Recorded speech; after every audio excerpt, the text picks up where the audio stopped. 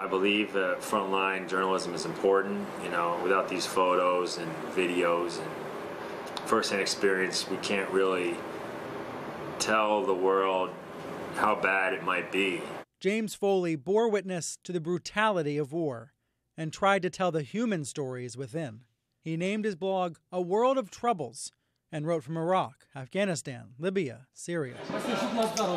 Foley was on a reporting trip in Syria when he was kidnapped on Thanksgiving Day 2012. He was just a hero. And you, you, know, and you know just- from the videos, his last words were, "I wish I had more time to see my family." So Jim had a big heart. And a brave heart.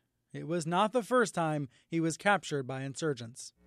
I'll never forget that moment. Foley and several other freelance journalists were kidnapped in Libya one year earlier.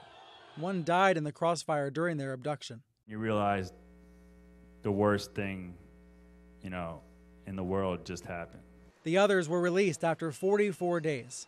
The trauma of the experience changed him. Anton's most likely dead, and we're and we're captured, and nobody knows where we are. But it did not diminish his passion.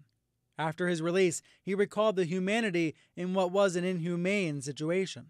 We were in a general Libyan population, immediately embraced by Libyan political prisoners. They saw us as trying to tell their story. For Foley, journalism was a second career. His first was teaching children in Phoenix, working with Teach for America. That same sense of service drove him to journalism school and to Syria. He wasn't a cowboy, he wasn't a reckless person, but he wanted very much to um, expose what was going on there. His colleagues and competitors say he was generous, fair, and even tempered. His parents added another word fearless. We're very proud of Jim. You know, he was a, a courageous, fearless journalist, uh, a very compassionate American. I mean, the best of America.